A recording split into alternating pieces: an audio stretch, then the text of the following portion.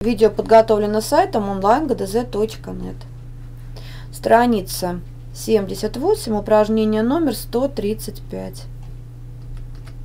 Прочитайте. Голубенький чистый подснежник цветок, а подле сквозистый последний снежок. Майков.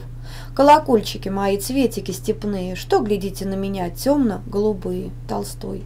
Какими вы представили цветы? Первый цветок – это подснежник голубенький, чистый.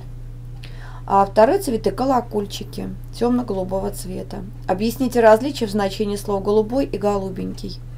А, голубой – это ярко-голубой цвет, а голубенький – это оттенок голубого. Голубой и темно-голубой. Ну, голубой – это средний оттенок голубого, а темно-голубой – это оттенок э, с темным отливом.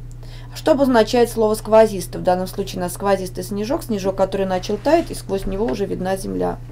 Определите, в каком числе употреблены имена прилагательные. Голубенький – единственное число, чистый – единственное число, сквозистый – единственное число, э, степные – множественное число, темно-голубые – множественное число.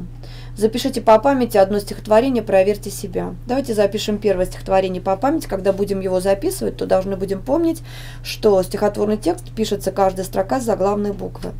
Голубенький, запятая, единственное число. Чистый, единственное число. Подснежник, дефис.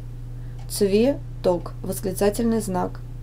А подле сквозистый, единственное число, запятая, последний, снежок, последнее единственное число, три точки.